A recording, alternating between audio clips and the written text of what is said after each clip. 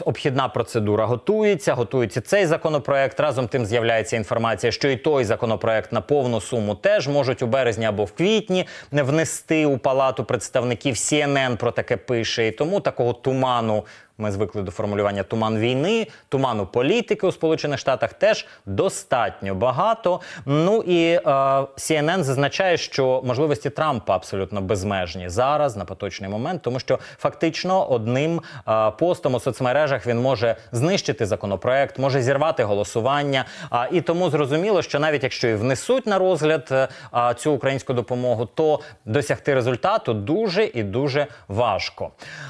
Як ми бачимо, навіть домовитися про свої справи американцям не дуже просто.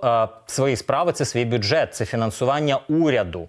І тут, от я навіть наголошу, що Америка опинилася на порозі чергового шатдауну, якби е, кілька днів тому не проголосував конгрес, не ухвалив е, от саме це фінансування уряду е, до кінця фінансового року. А це не так уже довго. Це до жовтня, навіть не до кінця 24-го року, а всього лише до жов... 24-го року, а тільки до жовтня 24-го.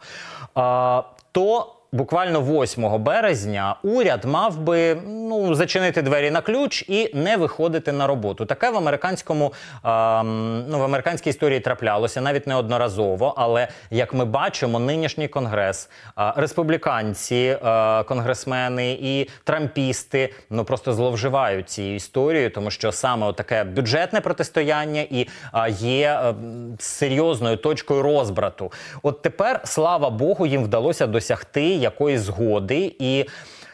Ем, більше ніж півтора трильйони доларів, е, трильйон 660 мільярдів. Це та сума бюджетного фінансування уряду. Я наголошую, уряд і урядові організації. Ну тобто, це якісь управління, управління штатів, е, федеральні головні служби, силові органи, 19 спецслужб, які є у Сполучених Штатах Америки. Все це фінансується із із нинішньої суми федеральні судді, прокурори, ну тобто всі ті, хто працюють на державу. Але от якби цього не було, вони просто мусили би не працювати. Такі правила в Америці, коли настає шатдаун, вони не ходять на роботу і не можуть отримувати свою зарплату. Отже, для 12 сегментів урядової роботи фінансування вже є. Ще для 6 сегментів мають допрацювати фінансування зараз, і тільки після цього імовірно дійдуть до допомоги Україні.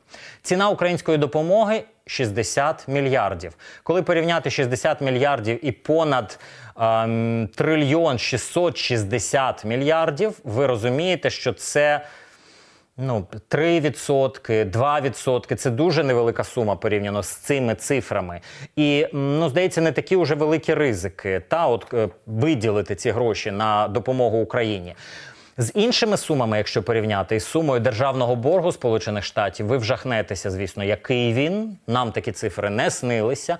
Але порівняно з ними, те, що мало би піти на допомогу Україні, це справжні крихти. В Америці велетенський держборг, і на поточний момент він становить понад 34 трильйони доларів. Це важливий момент, це момент занепокоєння для Сполучених Штатів, для фінансистів, для держуправлінців. Він фактично зростає у цей держборг Сполучених Штатів на мільярд кожні 3,5 години. Уявляєте собі? А кожних 100 днів трильйон додається до цієї суми. І відповідно американці, американська держава просто не встигає віддавати їх. Цей борг поступово накопичується далі і далі. І кілька було моментів історичних, початок ковіду, припустимо, коли різко дуже підстрибувала сума цього боргу. Тобто держава багато запозичувала. І от зараз один із тих етапів, е, ну е, навіть. До кінця не зрозуміло і можливо важко зорієнтуватися на що саме за держава американська прямо тепер а, запозичує такі кошти. Можливо, це щось не до кінця афішоване, що стосується безпеки. А, ну тому що саме безпекові загрози сьогодні такі великі у світі. Але в будь-якому разі і зараз цей рівень держборгу зростає.